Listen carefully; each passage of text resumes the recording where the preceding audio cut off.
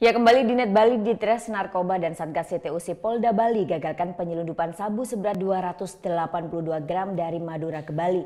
Sabu tersebut disembunyikan di dalam sebuah tas rangsel yang telah dijahit ulang. Penyelundupan barang haram narkoba jenis sabu ke Pulau Bali kembali terjadi.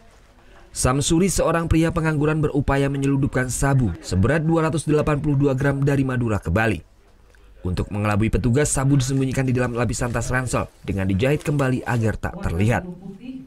Namun saat akan mengantarkan sabu ke kurir lainnya, Samsuri tertangkap petugas di Tres Narkoba dan Satgas CTOC Polda Bali saat bis yang ditumpanginya berhenti di Terminal Mangwi Badung.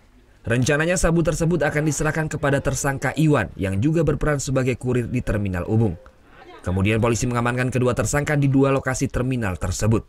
Kemudian kami melakukan kontrol delivery ke daerah Ubung, ya, kami e, menunggu seseorang yang memesan barang, yang memesan barang, kemudian tidak lama kemudian e, di salah satu TKP di wilayah Ubung datanglah e, tersangka kedua atas nama Iwan ini Selain sabu, petugas juga mengamankan alat bukti lainnya dari tersangka Iwan, berupa timbangan elektrik, plastik klip, serta uang tunai 5 juta rupiah. Kedua tersangka dijerat dengan Undang-Undang Narkotika dengan ancaman 15 tahun penjara. Surya Sanjaya melaporkan untuk NET.